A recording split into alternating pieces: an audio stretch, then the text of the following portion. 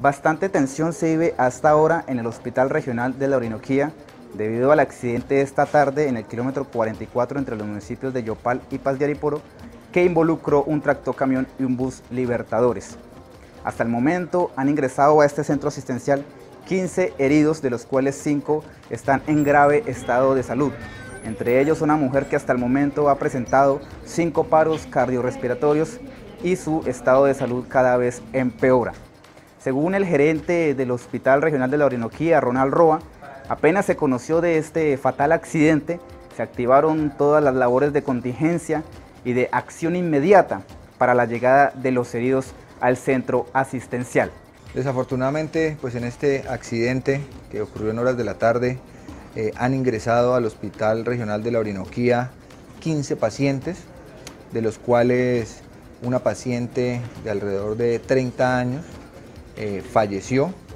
La paciente ya eh, durante la remisión al hospital llevaba 30 minutos de reanimación, la paciente en estado de embarazo, eh, con 33 semanas aproximadamente de embarazo y desafortunadamente pese a todas las maniobras que se realizaron acá en la institución por parte del servicio de urgencias encabezado por el emergenciólogo, pues la paciente fallece junto con el producto de su embarazo.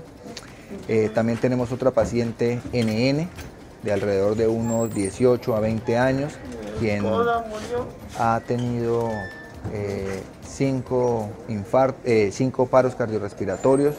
La hemos sacado en este momento, pues su estado es crítico, tiene un trauma croencefálico severo, tiene una broncoaspiración bilateral y la paciente pues desafortunadamente también está en un estado muy crítico. Dos pacientes, entre ellos el conductor de la buceta, eh, han sido llevados a cirugías por fractura de pelvis inestable.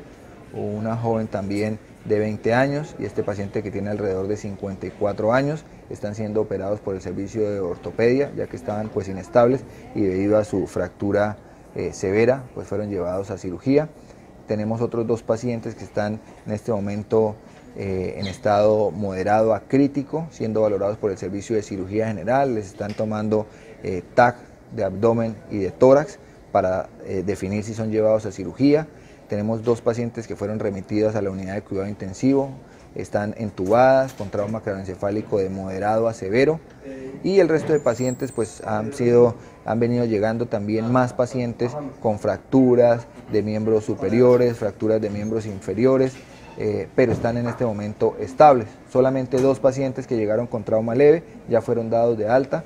Estos fueron los únicos que no tuvieron ningún tipo de, de lesión grave. El resto continúan en la institución, son 13 pacientes y como le digo, pues hay alrededor de 5 que están en un estado muy crítico en este momento.